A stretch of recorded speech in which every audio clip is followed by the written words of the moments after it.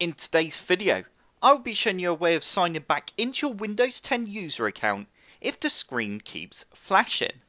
As you can see, my screen is currently flicking, and the reason behind this is because of a service called the App XSVC. This was the case for my system, but you might have a slightly different service that's causing you issues, which you will hopefully be able to figure out by following the steps I did in this video. So basically the AppXSVC service is for the store apps and the Xbox games.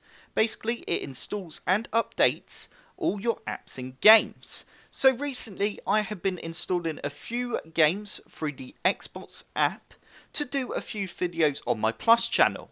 And then I went to log into my user account today, and as you can see, I have been welcomed with this amazing flashing screen.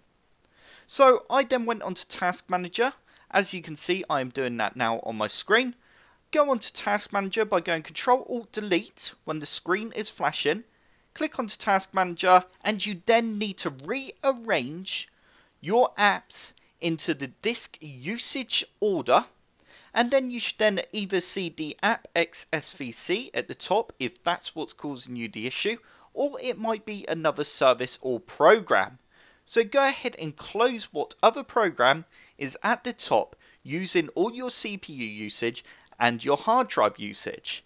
You may need to rearrange it into CPU usage if there isn't an app that's using lots of hard drive usage. So go ahead and just end task on some of the processes and then see if it allows you to sign back into Windows. And if you then get back into Windows, you then know you have to look into what is causing that issue. And for my sake, I know it's because Windows is currently updating and installing a load of games that I've downloaded.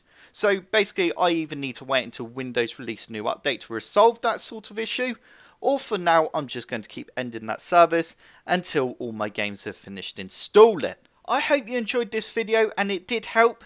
If you did, hit the like button below and subscribe for more computer sluggish tutorials.